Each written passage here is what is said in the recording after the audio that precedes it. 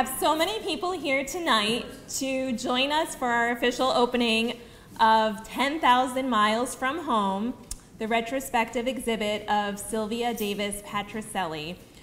As you see, they are beautiful paintings. We are so thrilled to have nine of the paintings as part of our collection. Three of those paintings are on display tonight.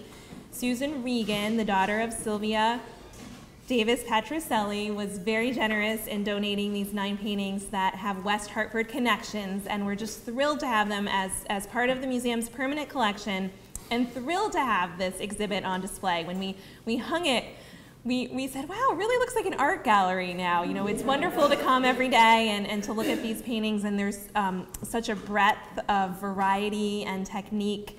Um, and as we'll learn from Susan in a minute, Sylvia painted for her entire life. So we have this great retrospective from the 1930s the whole way to the 1980s. I would like to introduce Susan Regan, who is also the host of Connecticut Valley Views. I actually met Susan when she came to interview me as the new executive director back in probably September, right after I had first started. And we've been in contact ever since and have been work, working very closely together to, to make this exhibit happen and she's a pleasure to work with, and I'm just thrilled to have her here tonight. So thank you, Susan. I hope you had a chance to see the video um, because there were some highlights there of obviously Eleanor Roosevelt opening my mother's first exhibit. But I, I do want to thank Jennifer for all of her help and her support. Um, she, she in, indeed has been a pleasure to work with, as has Sheila Daly too. So I'm delighted to be able to bring this to the public and to have you be here, and I certainly welcome, I, I want to speak extemporaneously, so if you have any questions while I'm talking, please feel free to ask the questions, because it's here for you to learn about my mother, to learn about the collection, because the paintings are here for sale, they will actually be up for auction, and we are donating, I'm donating 20% of the sale of the proceeds to the West Hartford Historical Society, and will also be a scholarship that will be set up for a West Hartford graduate student, either from public or private school, uh, who is graduating in 2016, who wants to pursue a career in the fine arts. So I encourage you to speak to your friends. Um, you should certainly contact me. Be happy to answer any questions about it. That will be going on for the next two months, and there will actually be two to three paintings that will be on eBay as well. Um, let me let me just start out by saying that um, I call this 10,000 miles from home because my mother was from Sydney, Australia, as am I. I was born in Sydney as well. And my mother always talked about going home as Australians or Aussies do. And in turn, my father met my mother, and he left his home in America, which was 10,000 miles from home. And to give you just a very brief background, it was six months before, prior to World War II. My mother's father was uh, Leslie James Davis, was actually a gold mining gentleman. And he said to my mother, who had graduated from the Royal Academy of Fine Arts when she was 15 years old, was being recognized as one of the finest young artists in Australia.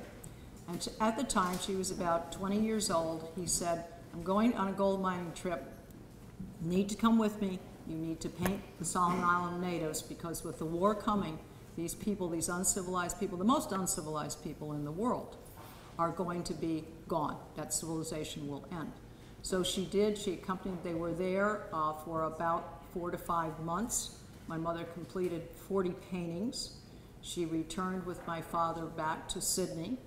There was an opening of the exhibition in, by Lady Gowrie, who would be someone similar to the president's wife here in the United States and uh, she and a number of paintings were sold there. Actually, one of the paintings went to Windsor Castle as well. And now the war comes about. My father was destined to go to China. Uh, he ended up, because of Pearl Harbor, ended up being on the press corps for General Eisenhower, for General MacArthur. And when he, uh, in, in that happening, he in turn ended up in Australia. He saw a picture of my mother and he saw the article about her and her exhibition. Now, he was a writer, and he thought, what an interesting combination, what a beautiful woman.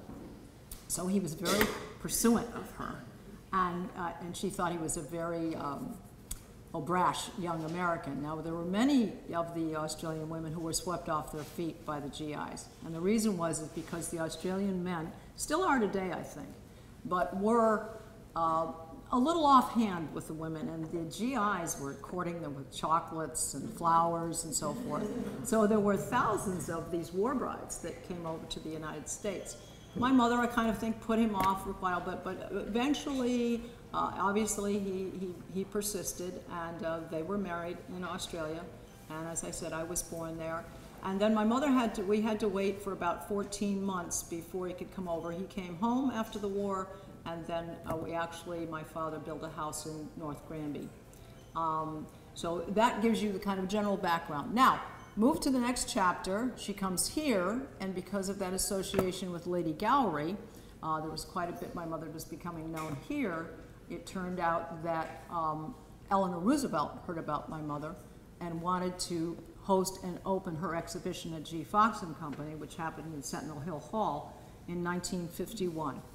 And during that video, you can see her actually speaking. If you go on the website, www.sylviadavisart.com, you can see that there. You can see the entire video. You'll see Mrs. Roosevelt speaking.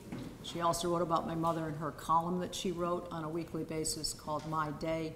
So that was uh, a pretty exciting thing. So continued on, and as a few years went by, my parents moved to West Hartford, which is where I spent most of my growing years. Uh, my mother became well known in West Hartford. She taught at the West Hartford Art League.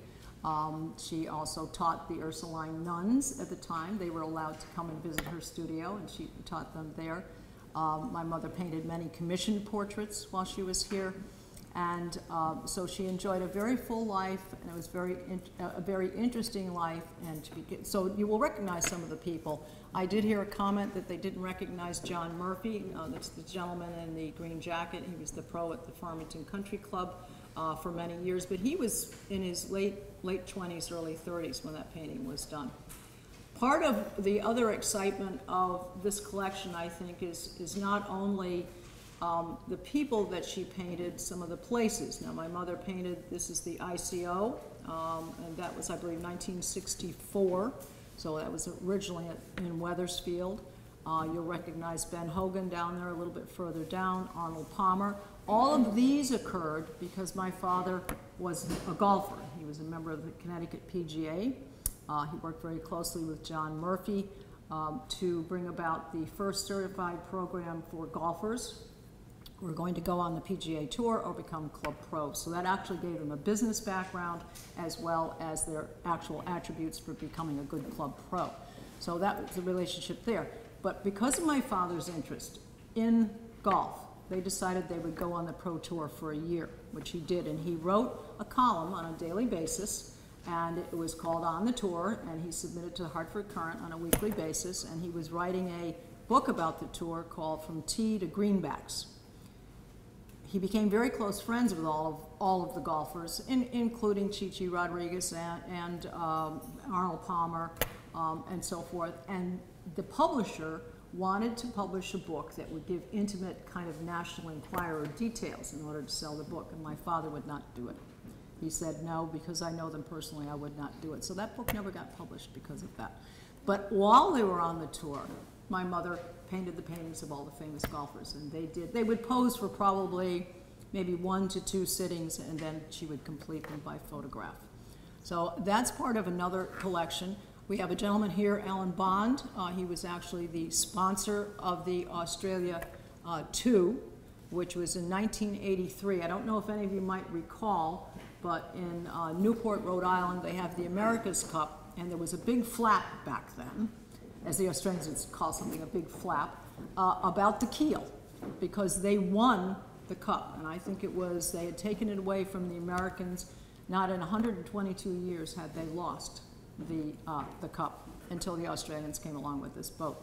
But they took the keel, they took the whole boat out of the water, it was examined and so forth, and found out that it was perfectly within regulations, and so they retained the, retained the trophy. Um, in between um, studies, as it were, my mother did many floral paintings. Um, she would do things that would strike her fancy. Some of the paintings that Uh, I've donated to the West Hartford Historical Society were of West Hartford. She painted the houses that were around her. Um, she painted the a painting of my father, which is in the other room uh, next to my mother. Um, she would then also do some idea paintings, concept paintings, and one of those is the Holocaust, which is hanging on the back wall over there. And um, that is about representative of shoes that were from all the people that died during the Holocaust, things from little children's shoes to other people's shoes. And the word in Jewish is Shoah, which means Holocaust. So that's very symbolic. My mother was uh, very interested in, in, in the history of life and what happened to people. Now, I, I've kind of taken you a whirlwind through that, and I'm open to any questions that you might have um, about the paintings, about the people she painted, about her background, uh, her career, uh, anything about our family. You probably recognize the name Patricelli. Bob Patricelli is my cousin. Leonard was the president of TIC. Uh, so you know that. What else would you like to know? Well, you answered one of the questions Okay. at the end, but uh, the Solomon Island Yes. paintings, one of them is of some miners. Is one of those your Yes. Actually, you're, you're very observant. Yes, actually, he was in that painting. Those were his colleagues. Um, and that, and that, um, I would see as a very important part because museums tend to, um, believe that scenes in a special place are as important as a one-person portrait. So that was a capturing of a scene. So yes, those are the gold miners there, and yes, he was in the picture. I think he is the second one from the left, I believe. Yes, in the back. What year did your mother paint that portrait of General MacArthur? Um, that was around 1963. Now, that one was painted from a photograph. That was not, that was not the general, but my father did work on it. And of course, that was all part of, part and parcel of the whole thing. She also did subsequently a portrait after the, um, exhibition. She did a portrait of Eleanor, which is still hanging in our home. Anyone who is interested in that painting can certainly give me a call. I'd be happy to have you see that. That will be for sale as well, that price to be discussed at that point. Beautiful painting. She really captured her in such a lovely Exa- Exactly. Oh, it's, it's, it's extremely elegant because unfortunately, most people refer to her as an unattractive woman, which I think is, I find um, a very cruel thing to say because she contributed so much to the world. She contributed so much to her husband's background when he couldn't walk. She, she spoke on his behalf, so to even talk about what she looked like, I think is just out of the question. But it, it's a very flattering painting, and then she also um, did Beatrice Fox Auerbach. I remember going to the Auer farm and playing with her grandchildren while she painted. She actually sat for all the sittings for that painting. And then they bought that painting. She hung it in her in G. Fox and Company until she died. And when she died, that painting hung in the front window for about a month or so. And then the family, as I understand it, has that painting now. Anything else I can? Yes. You said that they, that your grandfather wanted your mom to go with him to the mining because the war was coming. How did she, how did he know that there was a war coming? Well, there had been rumors of what was going on because of all the conversations with, you know, all, all of the things he, he knew. I mean, he was a very astute man. And when you uh, understand, when you see the red flags and the warning signs, he knew that there would be something that would change this uncivilized world. Now, just to give you a little background on these natives. When they, when they first got there, they were not used to seeing white men but they were definitely not used to seeing any white women at all. Or uh, the fact she was blonde and that she was young, and so she couldn't get anybody to sit for the paintings at first. They were afraid of her. They thought she was a white witch.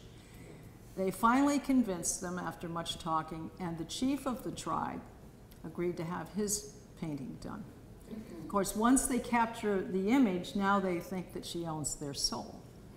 And, and so that was another frightening aspect. But obviously, as time went on, and there, there are two pictures here. One's called the Shy Pickaninny and the Laughing Pickaninny. And, and the Shy Pickaninny was the one that was afraid at first. But her mother tied a lizard to her toe and kept her kind of amused and it, it got her laughing and so forth. So that's how she ended up with, with that too. But um, it, it, it was a very interesting time for my mother, and as it turned out, my grandfather was absolutely correct. And so, literally and actually, it is the only collection of those people at that time in the world. You also said there's an auction, is there an auction site? Um, it, it will be on eBay. I know that Jennifer can, um, give you information about that. They will have, I believe the way Jennifer's going to have it is we will have, just as you would for a silent auction if you went to a black tie affair, there will actually be, is that the way you're gonna do it, Jennifer? We're gonna have it, uh, on things so that people can come in, sign up for the painting that they're interested in, and it will be there for two months so that you can, you know, add in increments of whatever's there. This is the first time I've done anything with these paintings, uh, for many years. And I've had them in my own home, and I felt that one of the best ways to share some of that was to donate some to the West Hartford Historical Society.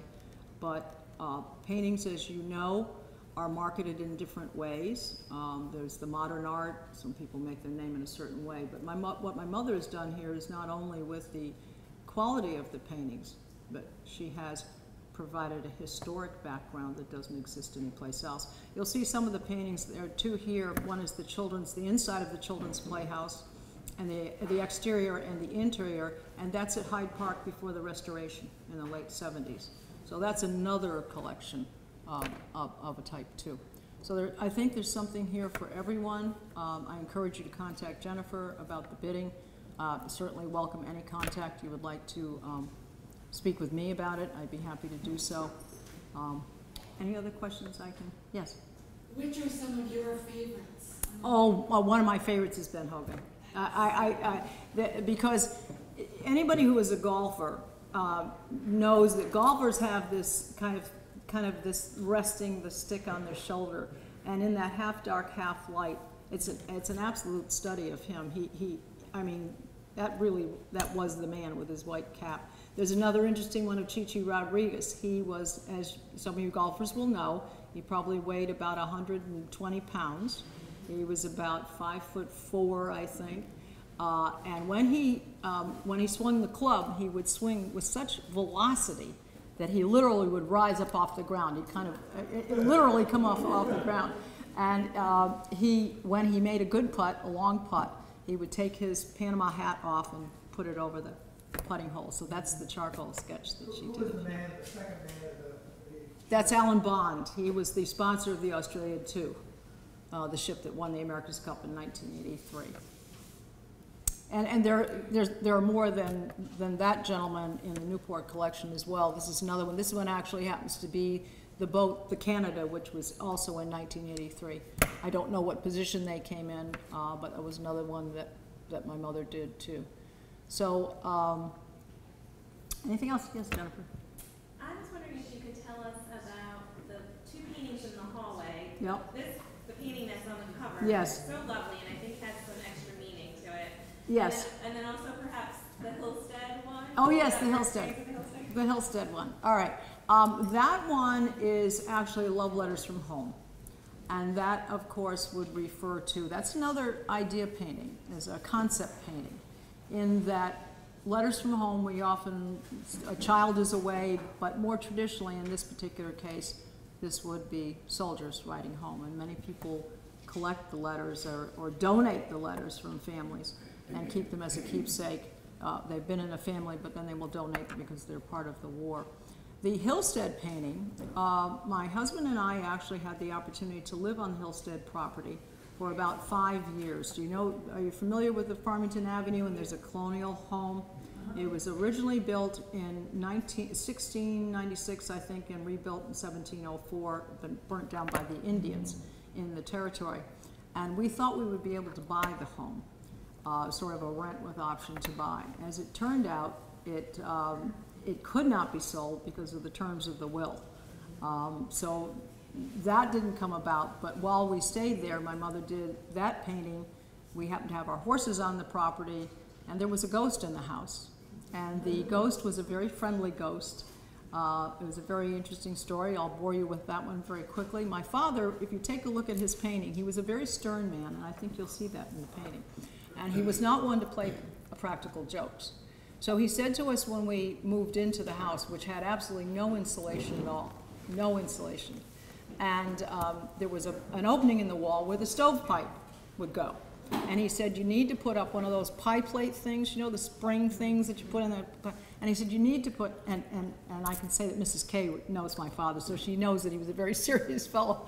Um, but he uh, said, you've got to put one of those pie plate things up. And I said, Dad, we got a lot of things to do. I don't have time. To, I'll figure it out later. Well, he went on and he harped on it quite a bit. And so finally, when winter was coming, and uh, one day I came home and I found one of those things on the porch. So I called him up and I said, You finally went, got one of those things for us, didn't you? My father said, I have no clue what you're talking about. So as I said, he was not a practical joker, so I knew when he told me it wasn't him, it wasn't him. So we went to the caretaker on the property. He was the only other person that would possibly know about this. And we said, Did you put this? And I said, No, I didn't drop anything off. And there was no one else. There was no one else who knew, knew about it. So uh, we took it, we put up, we figured it was the ghost. And we would hear marbles rolling around and lights that stayed on in the attic when we were sure we turned the lights off. And then what followed up to that is after we moved out of the house and we moved on to another permanent home, uh, turns out the director lives there now for the Hill-Stead property. And when we mentioned that to her, she said, "Oh yes, there's definitely a ghost there, and he's friendly." So there was no question at all. There's definitely, definitely a ghost there. But uh, yeah, so my mother painted that painting, and uh, and that's a, a, a wonderful remembrance. Any other questions I can answer? I don't I don't want to bore anybody. I just want to give you as much information as I can. Uh, Yes. Are the other paintings in private collections or are any of them um, on exhibition? Well, uh, are, are you talking about, I have other paintings at my home. Uh, the other collections are, well, they're all the commissioned portraits, um, that, the, the Boatners, my mother actually did a painting of Mrs., Mrs. Boatner. That was a commissioned portrait, so that was hanging in the American School for the Deaf. She did the Mrs. Auerbach one. She also did one of Judge Case, uh, well-known name in the Granby area, the Case family. Um, there were uh, numerous ones that she did uh, across the thing, and so there are, they're in very, various places, yes. Yes.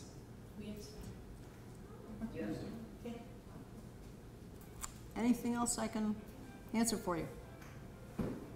Susan, can you just mention that if passed around in the exhibit to be sure to take some of these so they can. Okay. learn about your meeting? Okay, yeah. Um, so we have pamphlets here that describe, obviously give a description of each of the paintings, when they were painted, where they were painted, and what medium it's in. Um, and to take one of those and to share them with your friends, you can certainly go on the website um, that's there about my mother's paintings.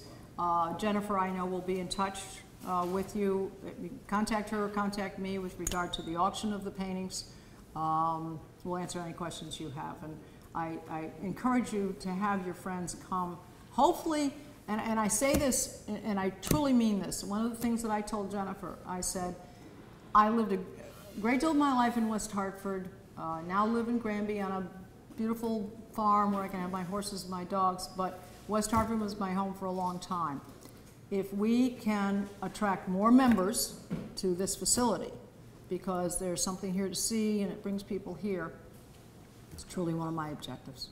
And if I can donate a goodly sum of money, I'd be more than happy to do so. And I'd be more than happy to send um, uh, a young student on to art school with uh, something that they can remember. And it will be called the Sylvia Davis Patricelli.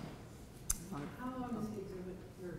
Two months, is that right? It's going to be here through the end of July, I think, through the end of July.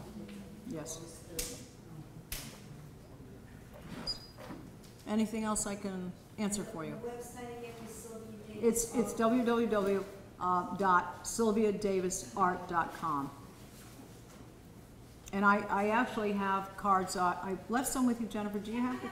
Okay, so there are little, little business cards, if you will. Jennifer can put those out, you can take those, and you, how to contact me, how to find the website, so forth, find out more about me. One thing, um, I, I encourage you to go on the website and look at the thing about Eleanor Roosevelt. There are very few places I can imagine that you would get to hear her speak at, you know, um, you know, she's got a wonderful voice, very cultured voice. And uh, it was, it was an interesting time. It it was sponsored actually by not only G. Fox and Company, but WTIC. Um, and, and so it was very important that, uh, I mean, they had, it, it, it held great sway in the Hartford area for a long time. So, that's it. So I'm delighted. Anything else?